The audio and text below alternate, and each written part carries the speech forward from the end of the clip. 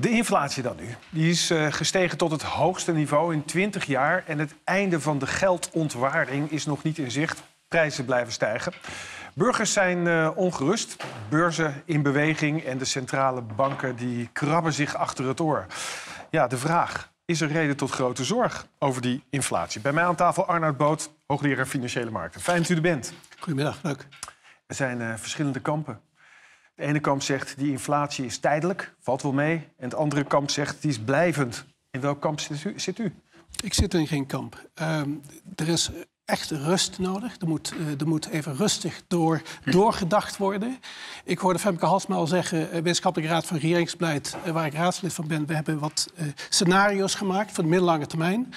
Er moet rustig doorgedacht worden wat een passend beleid is voor de samenleving. En dat geldt ook voor inflatie. Ja, goed, rust, zegt u. Maar ja, we hebben een grondstoffencrisis, een lockdown, er is een nieuwe variant, Omicron. Er is zoveel onzekerheid. Er is geweldig veel onzekerheid. Uh, inflatie is daar, uh, om, toch even om uit te leggen waar die, waar die vandaan komt. Hè. Uh, dat betekent niet dat daarmee automatisch het recept er is. Hè, maar waar komt die nou vandaan? Er zijn een paar krachten die op dit moment spelen. Aan de ene kant hebben we puur door pech eigenlijk een energiecrisis. Ja, voor een groot deel pech, want die valt samen met de coronacrisis. Wordt veroorzaakt door geopolitieke redenen, et cetera, et cetera. Groningen, het veld van Groningen. Poetin. Poetin. Tegelijkertijd heeft het ook wel iets met corona te maken, want we hebben een economie die geweldig goed aantrekt. Dus dat betekent een grote energievraag. Dus daar speelt een complex van factoren. En dan speelt een complex van factoren dat die economie, die inmiddels meer dan anderhalf jaar zich aan het aanpassen is, eigenlijk aan een nieuwe wereld. Laten we eerlijk zijn. Dit was geen crisis van zes, van zes maanden. En wat betekent dat? Dat betekent dat sommige sectoren afschalen en andere worden belangrijker. En die sectoren die belangrijker worden, die hebben mensen nodig, die moeten groeien. Uh, mensen gaan opeens veel meer uh, hun huis verbouwen. Dat betekent dat er een geweldige vraag is naar bouwmateriaal. Waar moet dat vandaan komen? Ja. Dus het hele logistieke proces zit klem. Energie, zegt u, is veel duurder geworden. Aanzienlijk veel duurder. Hè? Tegelijkertijd schuift er van alles binnen de bedrijvigheid en binnen de, binnen de markten dan is de achterdocht van de financiële markten, kijk even naar de beurzen op dit moment, wel heel goed te begrijpen natuurlijk, toch? Nou, kijk, dat de financiële, de financiële markten staan trouwens heel hoog. Hè? Even, even om aan te geven, hè? Uh, wat, uh, waar we dadelijk ongetwijfeld nog over gaan hebben. Uh, de financiële markten natuurlijk zijn achterdochtig. er is onzekerheid. Dus dat betekent ook dat er, dat er relatief veel risico is. Kleine zaken kunnen, kunnen grote schokken veroorzaken op die financiële markt. En de grote angst is natuurlijk... Ik weet niet of het, of het een reële angst is, maar dat, daarom vraag ik het u. Die hyperinflatie, dat, dat het geld zo erg gaat ontwaarden dat het, dat niks meer waard is. Kijk even naar Turkije. Wat daar op dit moment daar is, de inflatie daar geloof ik 45 procent. Maar het is tegelijkertijd natuurlijk een prachtig voorbeeld. Uh, je, moet je, je moet je eigenlijk je economie ook in een ongelooflijke chaos storten. En bijna moedwillig om hyperinflatie te creëren. En dat is wat Erdogan eigenlijk doet. Dat is Erdogan, wat Erdogan doet. Als je in de geschiedenis kijkt, hè, Duitsland in de jaren 20 van de vorige eeuw... Hè, dat is natuurlijk voor de Duitsers ook altijd het beeld geweest. Hè. Hoe dan ook moet die euro sterk zijn... want we willen nooit meer die hyperinflatie van de jaren 20. Hyperinflatie van de jaren 20. Dat was Duitsland die geweldige herstelbetalingen moest doen... op basis van de Eerste Wereldoorlog. Ja, een oorlog. Dus het is of je gooit je economie moedwillig in de chaos Erdogan. Ja. Of je komt uit een gigantische oorlog en je moet die herstelbetalingen doen. En hoe kun je herstelbetalingen doen als een land wat niet functioneert op dat moment? Wat Precies. ga je dan doen? Dan ga je, dan ga je bankbiljetten... En die situatie is er helemaal niet hier nu, zegt u, toch? Die situatie is absoluut niet. Uh, die situatie komt ook niet. Ja, dus daar kun je... Want daar hebben wij... Uh, daar hebben wij kijk, we hebben een democratisch proces hier. We hebben, we hebben checks en balances. Er kan van alles misgaan. Okay. Maar uiteindelijk hebben wij een rechtsstaat waar we zaken recht proberen te zetten. Dus je hebt echt een oorlog nodig om die situatie te komen. Dank voor deze geruststellende woorden over hyperinflatie. Daar hoeven we dus niet zo bang voor te zijn. Toch was er iets, wat mij betreft, wel echt verontrustend... wat Klaas Knot deze week zei, baas van eh, de Nederlandse Bank. Die zei, er is aan dat inflatieproces meer wat we niet begrijpen... dan wat we wel begrijpen. Ik dacht, nou ja, dat, dat is dat vind ik wel angstaanjagend eigenlijk. Nou ja, je kunt zeggen dat was eindelijk ook een realistische opmerking van de centrale bankier. Uh, want het inflatieproces is een uitkomst van, van de hele economie. Uh, het idee, hè, eigenlijk ook dat de reden natuurlijk dat wij het er hier over hebben. De, de, het idee dat de economie een machine is waar je aan een paar knopjes draait en je weet wat eruit komt, dat is volstrekt naïef. De economie is niet iets technocratisch. Je kunt het dus ook niet aan de technocraten overlaten. De economie is het gedrag van mensen, is, is uh, wat, wat er gecommuniceerd wordt. Het gevoel van samenhorigheid in de samenleving heeft met van alles en nog wat te maken wat de economie is. Dus op het moment, hè, even, misschien even als extreem voorbeeld. Als wij in deze tijd zitten, waar het toch lijkt dat de overheid zijn schatkist open heeft staan. Mm Elke tegenvallen, waar dan ook. de, de, energieprijzen. Nou, iedereen lagere energiebelasting. Voor hetzelfde geld krijgen wij allebei morgen 50.000 euro op onze bankrekening gestort. Laat ik het even extreem stellen. Mm Waar, waar het soms op lijkt. Hè? De mhm. schatkist staat open. Ja. Op dat moment denken wij toch, wat is geld nog waard eigenlijk? Uh, we, zien, we zien het de hele tijd op en neer vliegen. Uh, vroeger moesten er keuzes gemaakt worden. Hè? Ik herinner me dat er een gewikkeld sociaal leenstelsel in elkaar werd gezet... waar we gelukkig nu vanaf willen. Om extra geld voor onderwijs te hebben. Maar nu vliegt het gewoon de schatkist uit. Als wij niet meer het idee hebben dat geld waarde heeft... dan is er een zaadje geplant in ons hoofd... dat geld schijnbaar die waarde niet meer heeft. En dat is wat Klaas Knot bedoelde?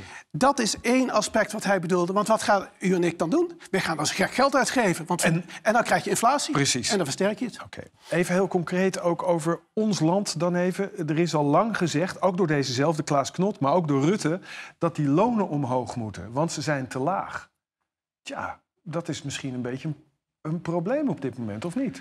Nou, het is een probleem als je eh, op dit moment gaat zeggen... want er zijn genoeg jaren geweest uh, dat we eigenlijk het tegenovergestelde probleem hadden. Hè? Dat de Europese Centrale Bank op zoek was naar inflatie.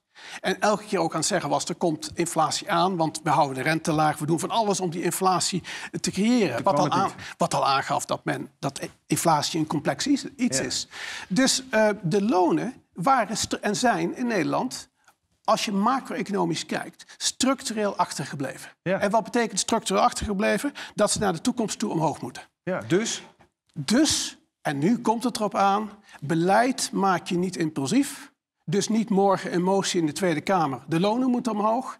Beleid maak je voor de langere termijn. Die dus op de langere termijn moeten de lonen omhoog. Ja.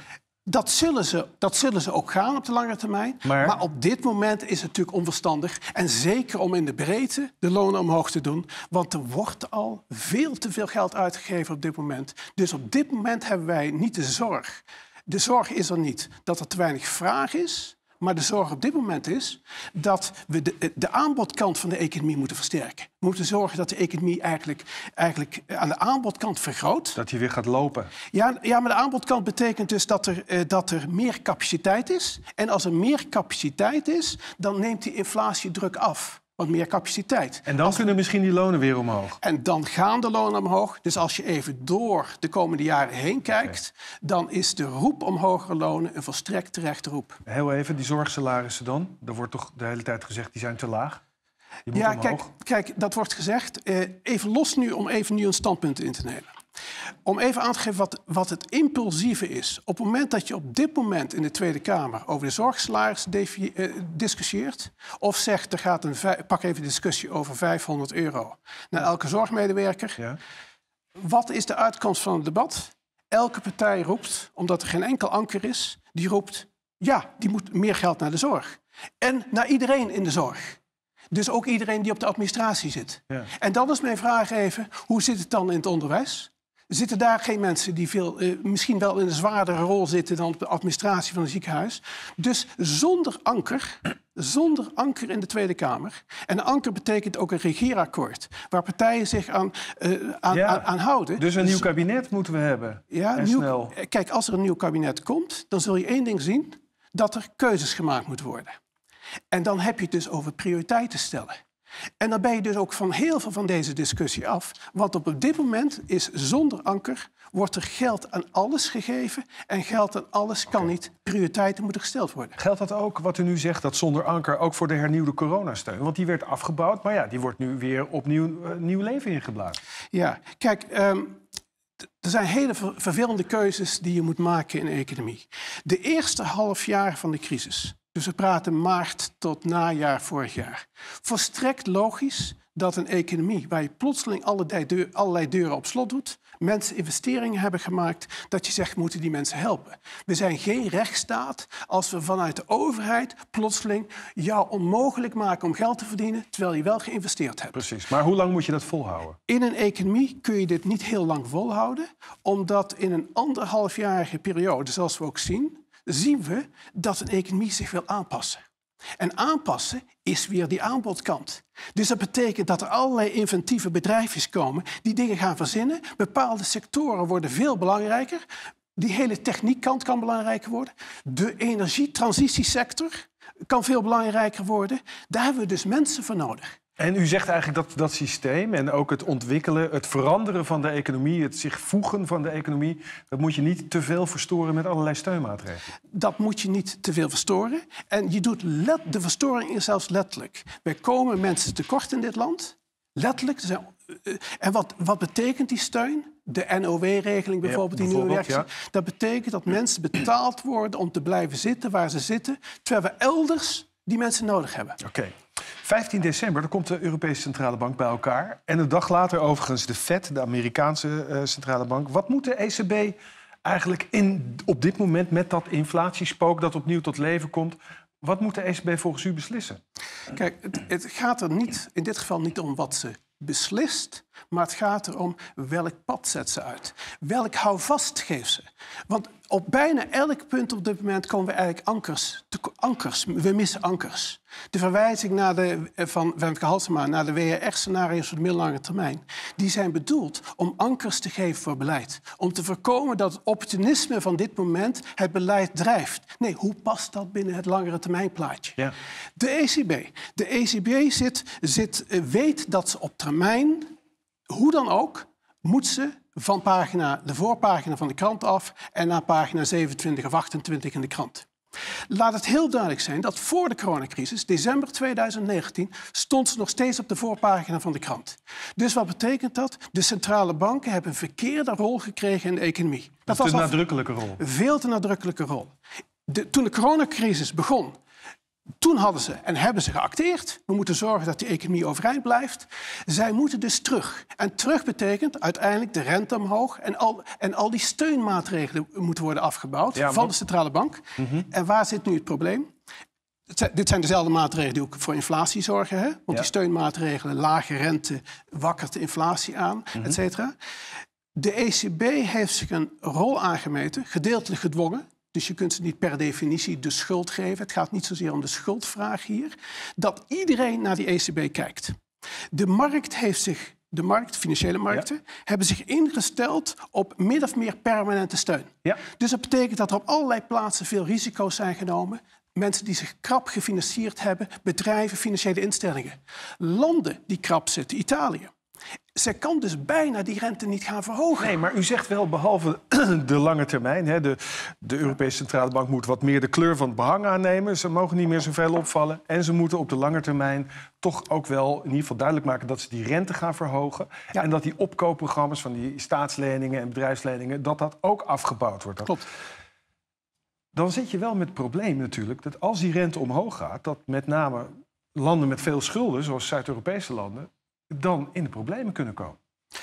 En daarvoor is het dus nodig. Dat klopt, hè? het antwoord is, uh, is meteen ja. Uh, de Europese Centrale Bank, de Amerikaanse Centrale Bank heeft dat probleem natuurlijk niet. Hè? Het is één land. Mhm. Maar de Amerikaanse Centrale Bank heeft eerder het probleem dat de Centrale Bank uh, tot voor kort bang was dat ze door de president naar huis zou worden gestuurd. als ze iets zou doen wat, wat ongepast was. Denk aan Erdogan, hè? Die, ja. die stuurt ook elke centrale bankier naar huis als hij iets doet. Dus die onafhankelijkheid van de Centrale Bank is een groot goed absoluut een groot goed. Uh, de Europese Centrale Bank is bang voor een renteverhoging met betrekking tot de eurozone. Dat de eurozone, Italië, weer in de problemen komt. Zij zal dus moeten aangeven hoe zij de komende twee jaar in twee of drie scenario's die ze identificeert om zal gaan met die rente. Italië kan zich erop instellen door bijvoorbeeld haar schuld langer te financieren. Als die langer financiert, dan staat die rente vast. Oké, ja? dus sowieso, zegt u, die rente zal een keer weer omhoog gaan, zal omhoog moeten. Het ligt voor de hand dat de Europese Centrale Bank zich dat ook realiseert. En dat die hulpprogramma's, die opkoopprogramma's, meer en meer afgebouwd worden. Tot slot, we zien dus dat die rente al jaren extreem laag is. Voorlopig is hij dat nog, zoals het er nu uitziet. Nu komt nog de inflatie daarbovenop. Moet je niet stellen dat met name de spaarders en de mensen met een pensioen... die zijn nu eigenlijk twee keer de sjaak? Ja, het antwoord is ja. Uh, even in het algemeen. Eigenlijk elke economische crisis leidt altijd tot verliezers. Heeft winnaars, maar leidt ook tot verliezers. Maar de dus verliezer is hier dus de gewone man met een beetje spaargeld. Die straks absoluut, met pensioen gaat. Uit. De lage rente heeft ervoor gezorgd dat iedereen die geld had met huis of bijvoorbeeld aandelen, dat zijn ook de mensen die geld hebben, die zijn allemaal eh, naar het plafond, die zijn de spekkopers.